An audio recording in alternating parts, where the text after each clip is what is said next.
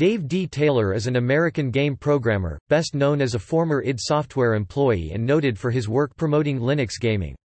In 1993 he graduated from the University of Texas at Austin with a Bachelor of Science degree in electrical engineering.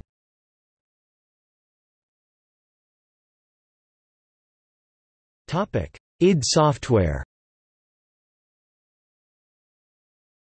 Taylor worked for id Software between 1993 and 1996, and was during the time involved with the development of Doom and Quake.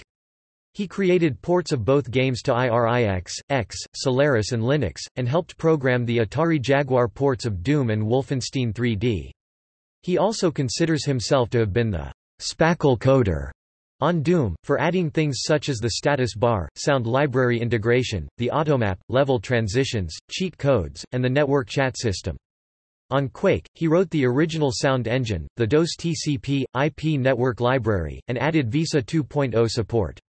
One of the musical themes in Doom 2, Dave D. Taylor Blues, was named after him by Robert Prince.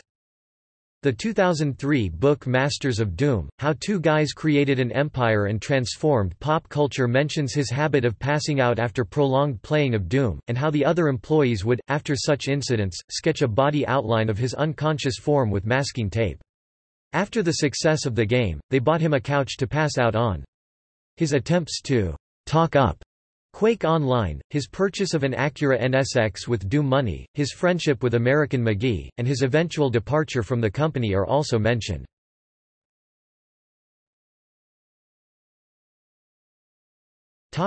After id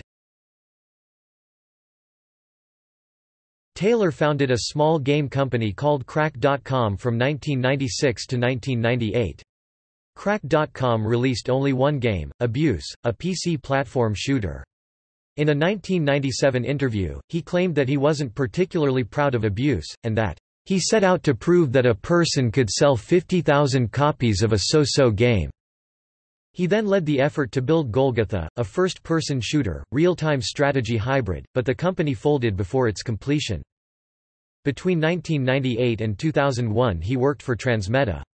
He was president of Carbon 6 from 2001 to 2002, they're also working as lead designer and producer for the Game Boy Advance game Spy Kids Challenger. Since 2002 he has been vice president of Naked Sky Entertainment and since 2003 also an advisor and freelance game designer. He is also willing to act as a Linux game porter for pay projects. In 2009, he produced Abuse Classic for the Apple iPhone and Beakies for the PC.